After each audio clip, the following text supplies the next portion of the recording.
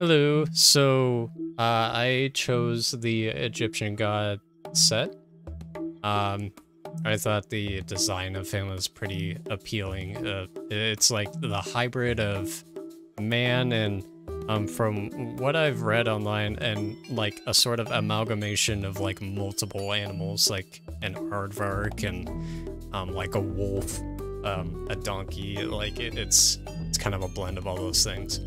But um, I pretty much started off with a printed out image and then just kind of scaled that up between two pieces of paper uh, as sort of like a basic outline and just kind of eyeballed it from there. Uh, the skin I mixed with a sort of brick red uh, acrylic paint um, and a bit of brown to try to imitate that reddish brown hue there. Um, and then the same ordeal with the yellow to try to give that goldish tint using a basic yellow and a bit of orange. Um, the blue is just a basic midnight blue here. Uh, I thought it was a little bit too dark for my liking, but um, it ended up setting out okay, and it was kind of more close to the picture.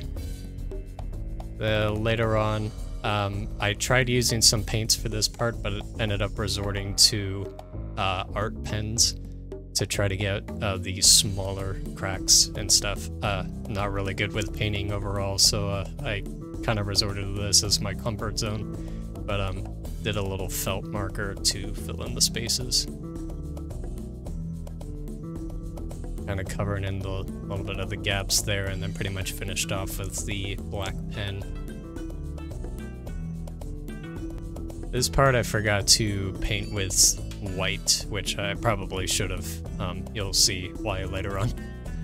But um, for the most part, the skin is colored in. Um, I added in some details for the sash in the middle with some red lines uh, based off of what I saw in the picture. Um, and a bit of like the buttons there, like the red and green and blue. Um, and now I'm doing the background with a sort of just like a basic blue colored acrylic.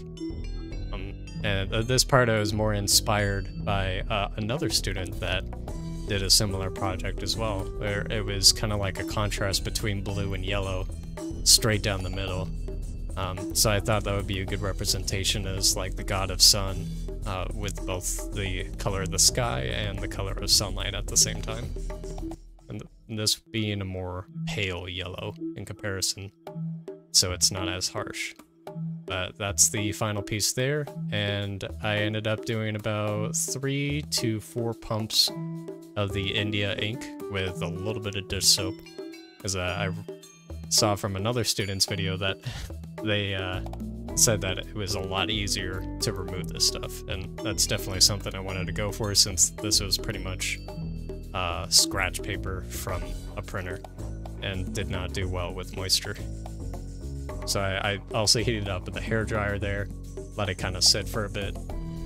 And uh, now I'm onto the removal process. Kind of accelerated the drying process with a hair dryer. Uh, ended up letting it sit out for an extra few hours just in case. But um, I was really afraid of submerging this with hot water uh, or like putting it under the faucet sink. So I just kind of soaked some paper towels in really hot water, like as hot as I could make it and then just kind of like rubbed in a circular clockwise motion to try to like rub everything off. So I pretty much just uh, kept on rubbing this uh, clockwise, you know, I mean, doesn't really matter, any any direction will do, but uh, I used a lot of paper towels here.